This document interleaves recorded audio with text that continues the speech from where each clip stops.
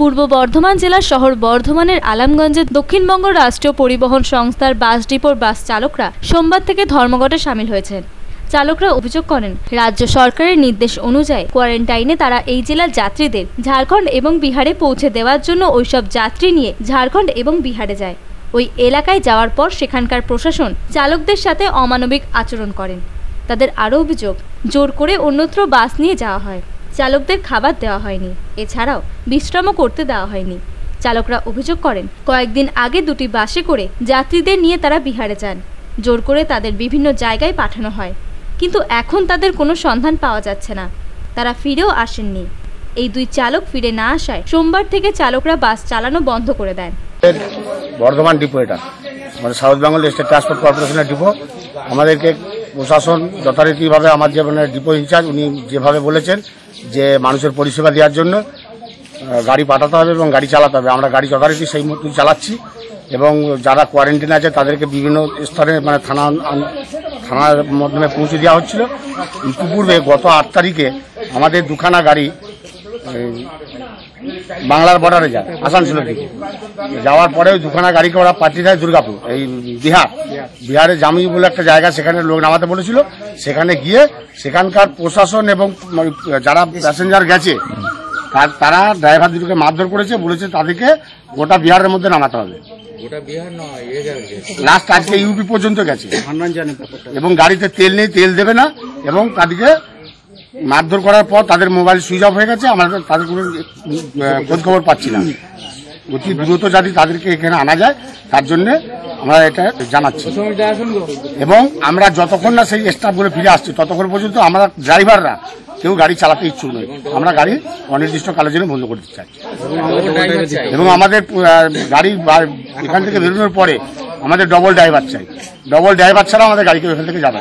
গ্রামে ঢুকবো না আমরা যেখানে এবং থানা আন্ডারে নামিয়ে দেবো থানা বুঝে নেবে সে সেখানে কীভাবে করবে পশ্চিমবাংলার ভেতরে। আমরা বাংলার বাইরে কোথাও গাড়ি নিয়ে যেতে চাইছি এবং ওই দুটো গাড়ি লোকেশনে পাচ্ছি না এবং ড্রাইভারদের নিখোঁজ এখন পর্যন্ত তাদের কোনো খোঁজ নেই। অথচ গাড়িতে জিপিএস লাগানো আছে তার কোনো হদিশই পাওয়া যাচ্ছে না। সংগঠন নেই। হ্যাঁ ডিপোর সংগঠন আছে আমাদের আইএনটিটিউসি যার রেজিস্ট্রেশন নাম্বার হচ্ছে সিক্স ফাইভ নাইন টু আপনারা জানাননি সংগঠনকে? হ্যাঁ সংগঠনকে জানিয়েছি সংগঠন ইতিপূর্বেই এমডিকে আজকে জানাবেন। উনি সেই মতো সেই মতো অবস্থা আজকে লিখিতভাবে জানাচ্ছেন এমডিকে এবং আমরাও বর্ধমান ডিপো থেকে ডিআইকে জানাচ্ছি।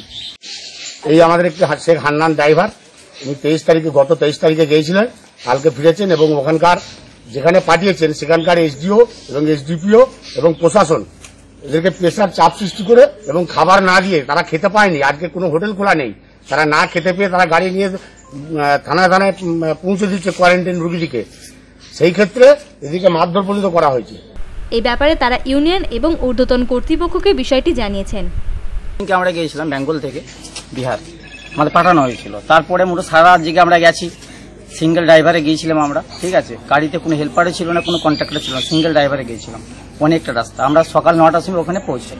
সকাল নটার সময় ওখানে পৌঁছানোর পরে আমাদেরকে এখান থেকে বলা হয়েছিল, বিহার জামুই গিয়ে গাড়িটা খালি হয়ে যাবে। কিন্তু ওখানে যখন আমরা যাই, ওখানে আমরা এসডিওর সঙ্গে কথা বলি। যে, স্যার, আমাদের গাড়িগুলো খালি করার ব্যবস্থা করুন। আমরা অনেক দূর থেকে এসেছি, আমরা ক্লান্ত আছি, আমাদের খাওয়া দাওয়া হয়নি সকাল থেকে কোনো। ঠিক আছে, একটু খাওয়া দাওয়ার ব্যবস্থা করুন বা আমাদেরকে থাকার ব্যবস্থা একটু করে দেন রেস্টের জন্য। উনি আমাদেরকে এসডিও সাহেব যিনি, উনি আমাদেরকে থাকা খাওয়া তো অনেক দূরের কথা। মানে মা বোন তুলে হিন্দি ভাষায় সেগুলো আমি বলতে পারব না। মা বোন তুলে আমাদেরকে গালাগালি করে আমাদেরকে ওইখান থেকে বের করে দিয়ে রাস্তায়। বলে এখান থেকে আপনারা দশ কিলোমিটার দূরত্ব যান। ওখানকার এসডিও সাহেব যিনি ছিলেন, প্রশাসন, পুলিশ প্রশাসনে ছিলেন। এবার একটা কথা কি, একটা পুলিশ প্রশাসন যদি আমাদেরকে মারতে আসে পাবলিককে বলছে কি যে তোমরা যে এখানে যে প্যাসেঞ্জার ছিল, ওনাদেরকে বলছি যে ড্রাইভার হ্যাঁ সরি ওনারা বলছেন যে যে ডিস্ট্রিক্টে মানে যে অল বিহারের মধ্যে তোমাদেরকে ছাড়তে হবে। আমরা বললাম, দেখুন স্যার আমাদের কিন্তু অর্ডার নেই। ঠিক আছে আমরা কিন্তু ছাড়তে পারব না। আমাদের অর্ডার যেটা যেখানে আছে আমরা সেখানেই ছাড়তে পারব। কিন্তু সেটা কথা নয়। তারপরে আমাদের ওই যখন বলা হলো কথাটা তখন এসডিও সাহেবকে ফির আমরা রিপোর্ট করলাম। আমাদের এই বর্ধমান এসডিও সাহেব। আমাদেরকে বলো তোমরা এখান থেকে বের হয়ে যাও। বের হয়ে যাওয়ার পর আমাদের এমনকি এসডিও সাহেব আমাদের এক স্টাফকে আমাদের বর্ধমান ডিপুর স্টাফকে দুর্গাপুর ডিপুর স্টাফকে লাথিয়ে মেরেছে। পুলিশকে আমরা বলতে গেছি পুলিশ বলছে এখানে কোনো কিছু নেই। তোমরা এখান থেকে চলে যাও। এভাবে প্রচুর অত্যাচার হয়েছে। সারা সারা দিনটা আমাদেরকে না খাইয়ে একটু জল অবধি দেয়নি রোদ্রি দাঁড় করে রেখেছিল আমাদেরকে। ওখান থেকে বের হতে দেয়নি। মানে এমন ভাবে বিহেভ করছিল যে আমরা নাকি চুরি ডাকাতি করি। আমরা ক তারিখ গেছেন এখান থেকে?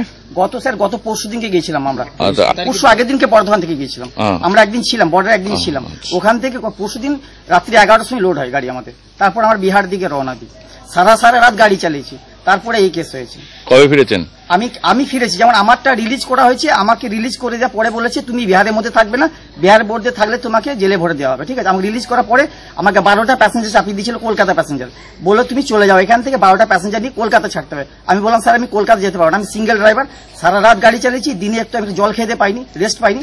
আমি কিন্তু যেতে পারব না। আমি ওনাদের বারো জনকে আমি ওই ঝাড়খণ্ড বর্ডারে ওনাদেরকে আমি নামিয়ে দিয়ে আমি তারপর আমি বেঙ্গল ঢুকে গেছি। দেখি যে আমাদের যে দুটো ড্রাইভার এখনও রয়ে গেছে ওখানে, ঠিক আছে? একজনের নাম হলো গুলাম মুল্লা ওয়াহিদ একজন হলো গোপাল মাঝি। এখন অব্দি ওনাদেরকে বাই প্রেসার দেওয়া হয়েছে যে তোমাদেরকে ইউপি এমপি যেতে হবে। ঠিক আছে? ওরা এখন অব্দি কি অবস্থায় আছে তাও এখন জানি না, ফোনে যোগাযোগ করতে পারছি না। গাড়ি তো তেল নেই, কালকে তেল শেষ হয়ে গেছে, কি অবস্থা আছে, কোথায় আছে, এখন অব্দি কোনো খবর নিতে পারছি না। বর্ধমান থেকে পরমেশ্বর মোহন্তর রিপোর্ট, আনন্দ বার্তা।